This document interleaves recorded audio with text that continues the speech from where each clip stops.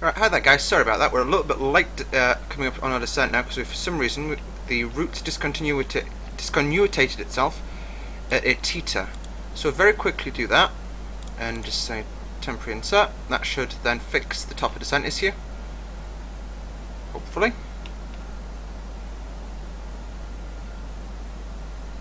No, we're definitely, we've got, we've sailed straight through it, that's why we don't go AFK. So scroll the altitude down to about 12,000 feet, which is a nice kind of interim. And left click. Descent. The aircraft's now going to fly a descent. Radar tilt. Set below. Oop, too much spoiler.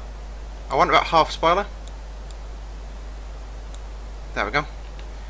And that's just going to bring us down a little bit steeper uh, because I've screwed it up a bit and we're a little bit late in the descent phase. We're only about 2,000 feet above where we should be, so it does sound like a large amount, but it really isn't. Um, let me just mute that, because that's about the th like the third video in the last three days where it's gone off.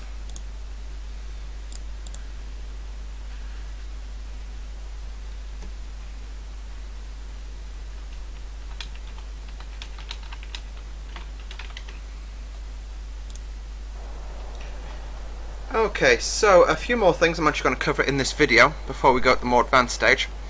Uh, those of you with low-powered PCs, and even me on occasion, will will have noticed that the aircraft has a habit of going into like just do crazy oscillation stuff when you get to a low FPS. Now the way to solve that is to hit return, and then very quickly go options, fly, it's aircraft, return, aircraft, and then hit fly-by-wire off. Do that as quickly as you can. Because the fly-by-wire system is what's causing the, the bounciness. The, the aircraft itself's absolutely fine, it's just the fly-by-wire system. It's just going to show you the arrival into Dubai is a bit of a chicane, as, as you say, it brings us quite close and then back out, then back in. That's why we're so close to the coastline and so high up. And can I just say this is a glorious sunrise. Uh, it's about 5am at the minute, I think, local time. We'll hit perf now, and we can actually just look at the approach phase. Now, temperature in Dubai is 25, QNH is 1010, winds are calm, so I'll just put that at 00, zero slash 00. The Dubai transition altitude, that's a good question, I'll just quickly check that, is... Help Lido, where do you put these things out again? Um, doo -doo -doo Two seconds, folks. Transition altitude 13,000. So that's flight level 130. But that's the wrong format, of course it is. So it's instead of typing flight level, we have to just type 13,000. Now, VAPP is the speed we'll bug on final approach, which is 146 knots with a VLS of 141. Now decision altitude coming off an ILS approach to runway 12 right, because it changed the, the runway we're landing on for it to be a quicker vacate, uh, will be 100 feet because it's a category 2 ILS system we'll be using. And I'll be disconnecting it at a thousand, the autopilot, autopilot at a thousand and hand flying it visually the second I see the runway. Um, there we go, radio. So differences are here. Barometric uses this altitude gauge here and it's above sea level. Particularly handy if you're flying over rocky terrain or you're on a non-precision approach.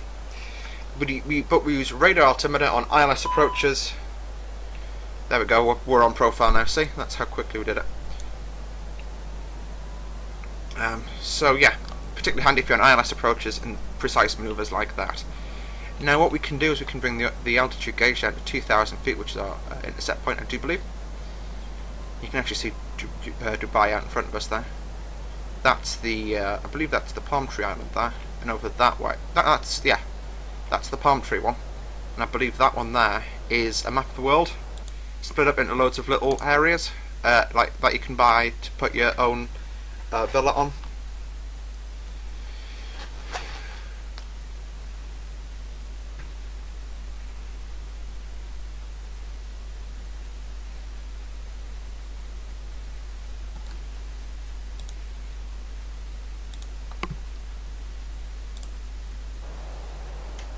So the uh, first officer just changed our barrel pressure settings because we've gone through transition altitude.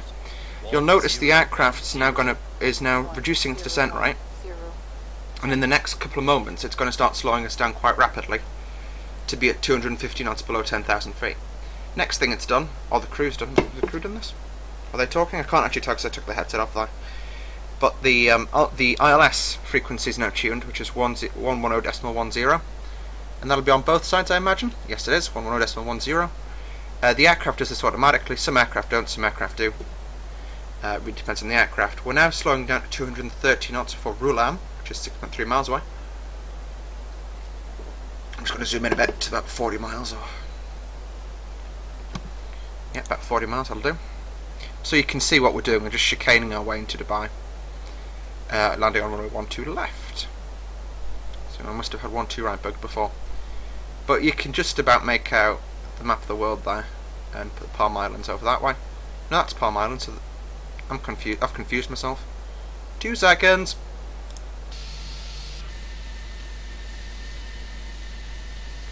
So that's the Palm Island, which you can see from space. And I believe that one's the map of the world, but I'm, I'm not 100% sure now. It'll be a bit more obvious when we get closer in. You'll also notice a massive FPS drop as the sim tries to load uh, the Dubai scenery in, because I'm using FlyTampa's Dubai.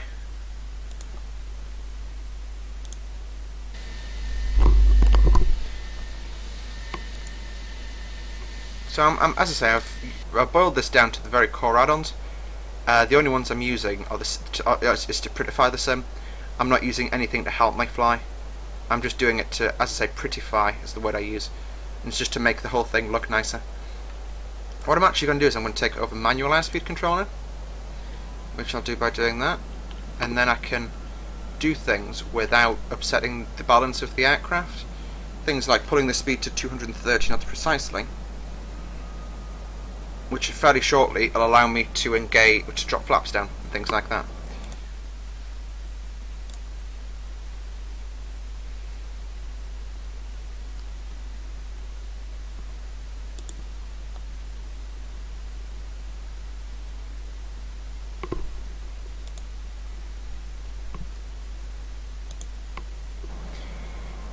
Alright, as I say, we're descending slowly but surely. Slowly but surely. Um, just got a lock spot. You can see the aircraft is starting to bounce there. And that's because we're approaching Dubai, the Dubai scenery.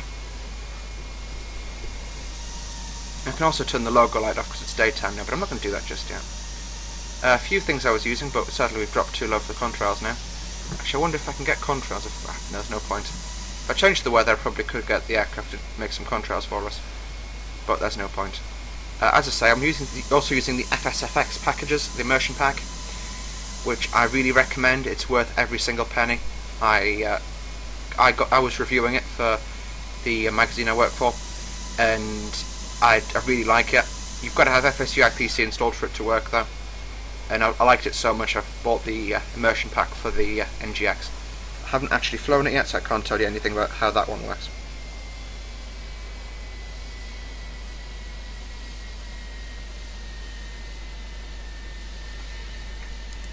So you can see the aircraft, as I said, there's autopilot.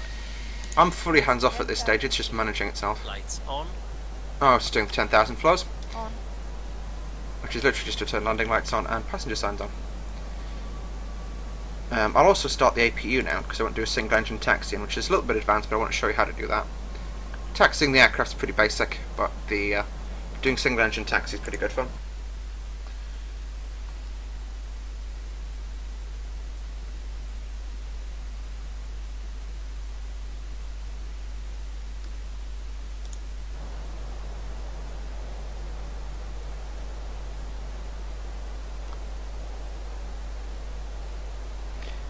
A very, very square approach, this one. Uh, I'm kind of tempted to get rid of 421, which will make it quite a steep turn, but I'll cut the corner off quite nicely. Get rid of 421 and 420 and take us all the way to Almet.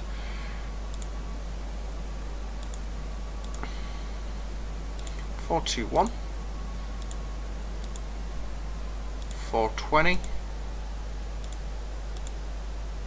Insert. And more drag! Quick! Hoy the, hoy the anchors out! You can see I've just cut the corner off there because, uh, again, under the circumstances, it's a pretty dead uh, piece of airspace right now because there is no AI. I don't run AI. I don't like running AI packages. They just annoy me by, by their stupidity. Um, but yeah.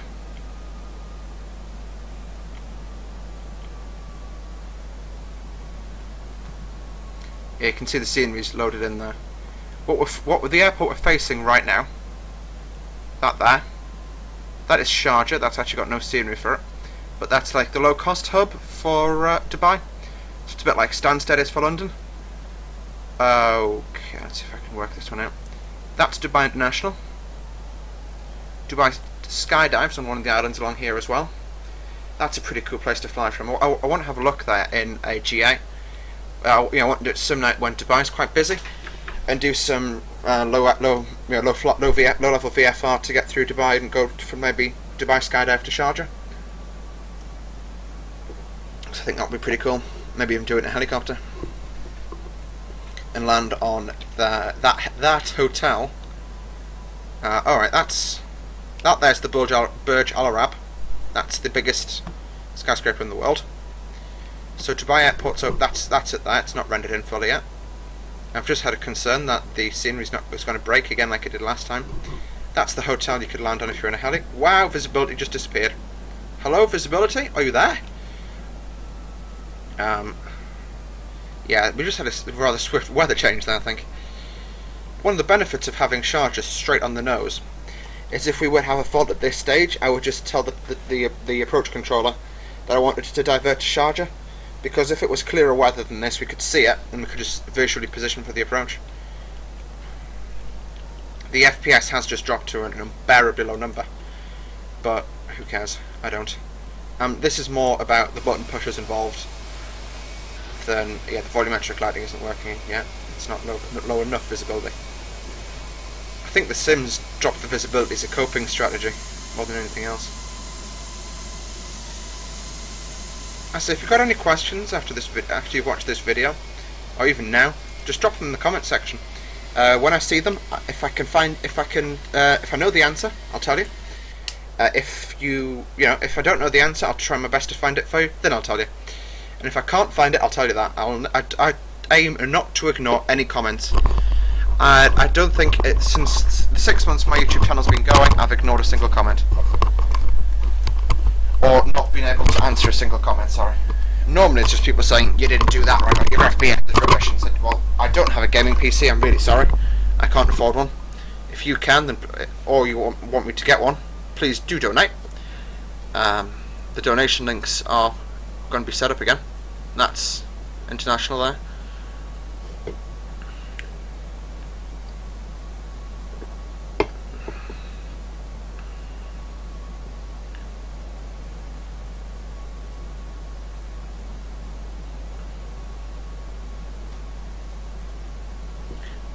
Yeah, that is international, so it's going to bring us down this way.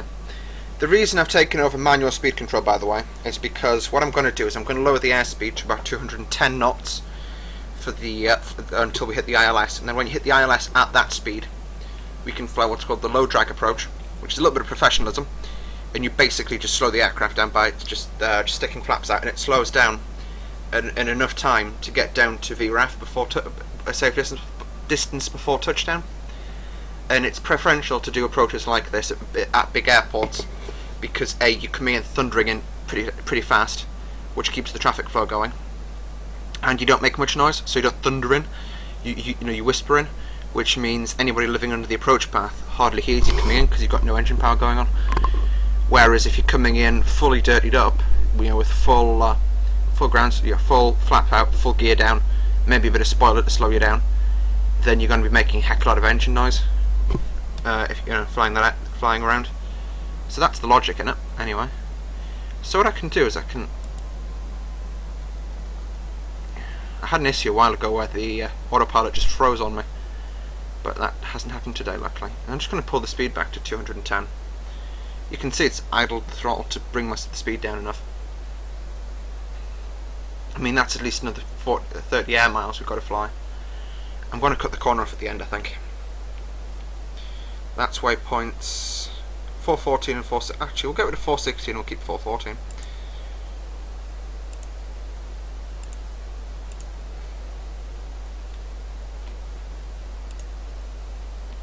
Just going to pop us a little bit above, I think.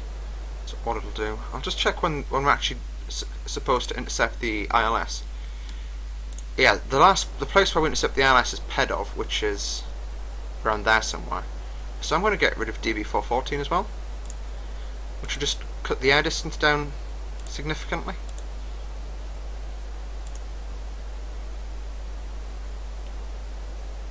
So we, we do have to drop a little bit quicker. I'm actually just going to pump some... I'm going to stick first lump of flap out, which is there, and just pull about half spoiler. Again, it's the spoiler's difficult to control unless you've got an axis assigned to it, which I unfortunately don't have because I've only got the basic Thrustmaster HOTAS at, at the time of filming because my other joystick is a bit kaput.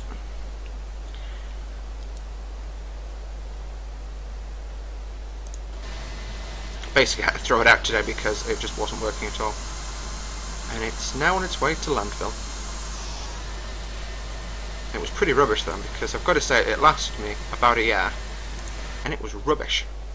Honestly, rubbish. I mean, like, badly bad, bad rubbish. Because the one I'm using now has lasted me five years, and it still works flawlessly, nothing's broken on it.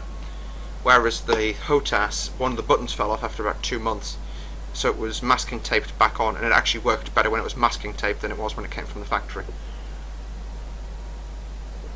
So unfortunately, I'm not a fan of the uh, Cyborg uh, fly stick, which is what I was using.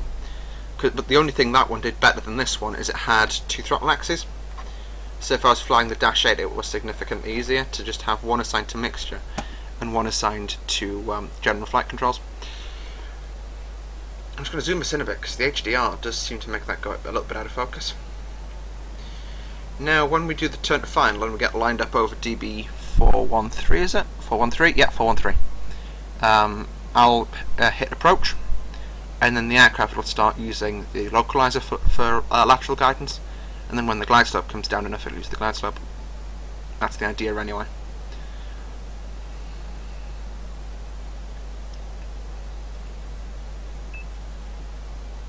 Approach checklist starts in 4.8 miles or press it by doing start key 1.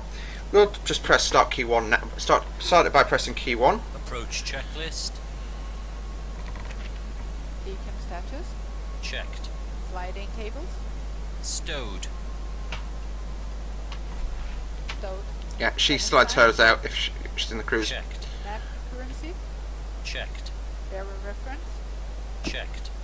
One zero one zero. One zero one zero. Check. Check. check complete. Flaps one. Okay, now in terms of flaps one, you'll notice we've only got slats out at flaps one. Now, uh, Airbus logic here is that for takeoff you get flaps 1 plus F uh, displaying on that screen. Right now you only get flaps 1 uh, and that's because it only deploys slats uh, for the flaps 1 setting. So you're getting, for the, the, what it basically says is you get flaps 1 plus flaps. So it's slats plus flaps. So it's flaps 1 plus F for takeoff. Local live, check. So we can hit approach mode now. which will bring us to centralise on that.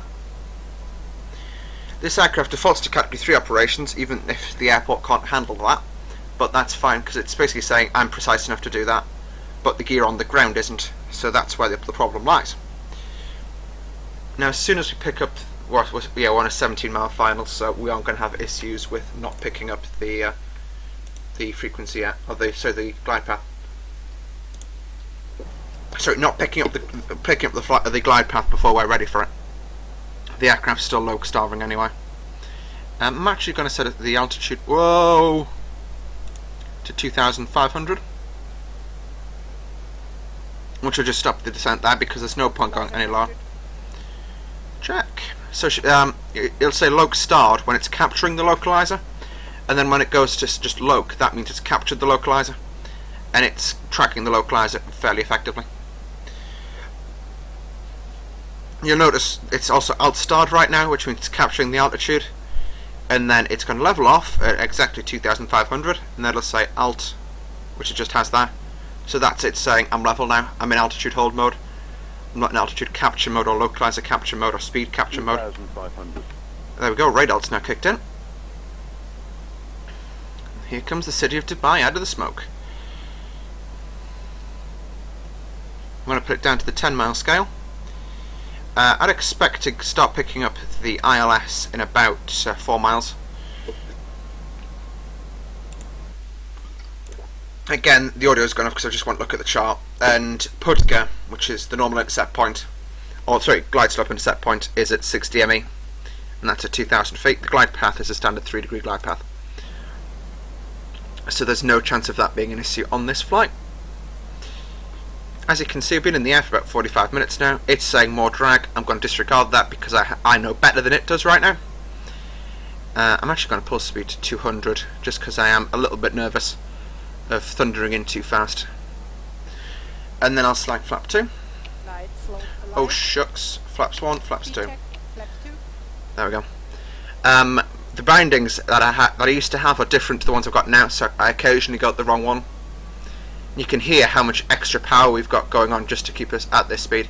There we go. That's our um, glide slope alive now. There's the airport in sight. We're now at nine miles.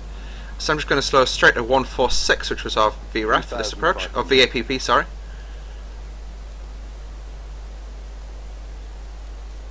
Now we're going to get ready for the approach checks. So, auto brakes, I'm going to set those to medium. Gear's going to come down the second that glide slope captures.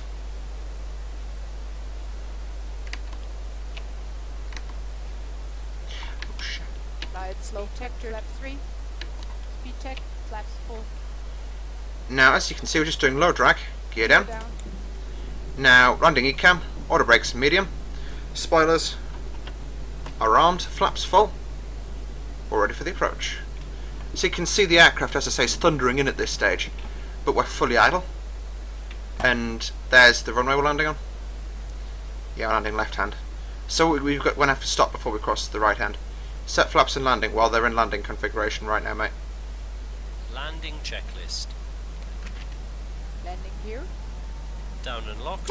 Three greens. ground spoilers, Checked and armed. auto brakes, Medium. exterior lights, On. go around altitude, Checked. Landing memo, Checked. No blue. checklist complete. Right, so what I'm going to do is that's roughly 1,500 feet. Autopilot can come out now. So you have to right click it in the sky bus Autopilot off. and then you just hit the master warning. And if you uh, if you do- do fly in an Airbus and you're in about the front half of the aircraft, you can hear the autopilot coming off on approach. So we're getting a little bit below, you can see there, because of the way, uh, just the way the aircraft flies. However, I'm just going fully visual. I'm actually staring at the runway right now.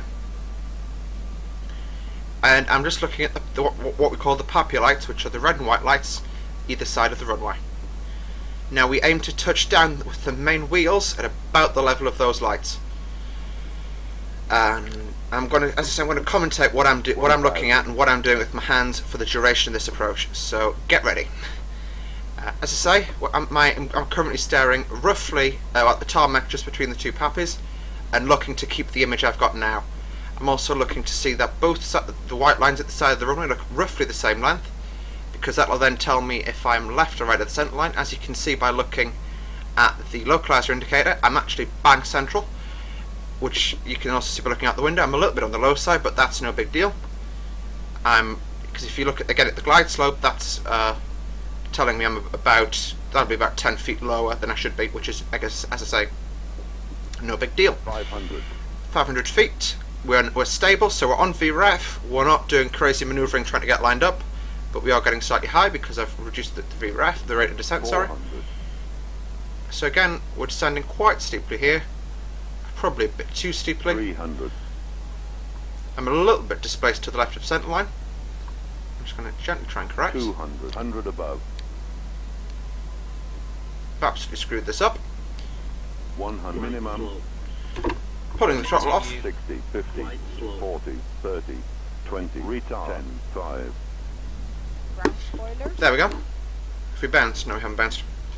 Ground spoilers are deployed. reverse green, Check. And I'm now just looking to keep myself central on the runway. 70 knots. 60. So I've stood the reverses now. I'm taking off a manual braking off the aircraft. Now, I botched that a little bit towards the end, but I'm actually quite impressed by how on set line I am at this stage. We'll vacate right. Leave the runway, okay. Probably a little bit fast there. Yeah, waha, very fast. Come on. Right, we've got to stop. So the the um, first officer's cleaned us up, so she's retracted the flaps After landing and stowed the spoilers. I just deployed the flaps by accident. Now we'll pretend we're clear to cross this runway, Set off. and we're actually just going to go to one of the stands straight in front of us. flaps. Check. Track. So I'll just very quickly select engine one off, Checked. Which you can see if you're not careful will cause you to do that. But uh, it is actually a favourable manoeuvre this, that we taxi the aircraft on one engine, because it burns about 20% less fuel than if we use both engines.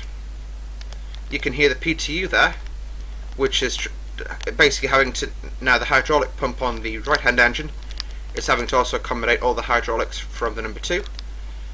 Uh, so yeah, the right hand's doing both hydraulics for one and engines one and two. This stand with the, the dual air bridges, that's where we're going. Again, we've got no uh, GSX today because it's broken. And I'm just going to brake and just chicane us into the stand. Stand Foxtrot 14. We'll pretend that was assigned to us by ATC. You can see I've actually got the, the thrust levers fully closed and the aircraft's still got a, a large amount of energy. Now I'm just looking to, to roughly keep the centre line entering stand. I'm look going to the outside view for the parking.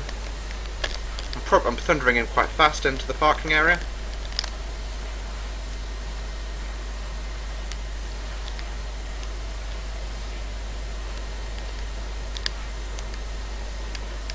And we'll just stop the aircraft there. Park is set. So uh, it's actually telling me I'm a little bit too far back, but I'm not. I'm happy with where I'm parked. Uh, we'll just check for what the checklists say we can do at this stage. And that's options for the checklist. Oops. Uh, checklist. Okay, it doesn't actually cover the landing checks, but that's, that's fine. We'll just take number two off. APU is available. APU bleed comes on, so that the passengers don't start uh, boiling to death in the back. Beacon light comes off, taxi light comes off, seatbelt sign out comes off. Air bridge doesn't actually work at this scenery, I don't think, does it? No, it doesn't, it's not moving. And yeah, that's pretty much it for this arrival. So guys, that was the basic, that was the um, first officer level of training, lesson 2 for the uh, Qatar Airlines Airbus A321. In the next lesson we're going to look at something a little bit more advanced, uh, we'll probably take the A320 out, and we'll probably have a look at somewhere, uh, well, I'm planning to do Prague to Ostrava, which will include a uh, VOR approach, which should be quite interesting. So, until then guys, that's it from me. If you've got any questions, let me know in the comments. Thanks for watching. See you next time. Bye!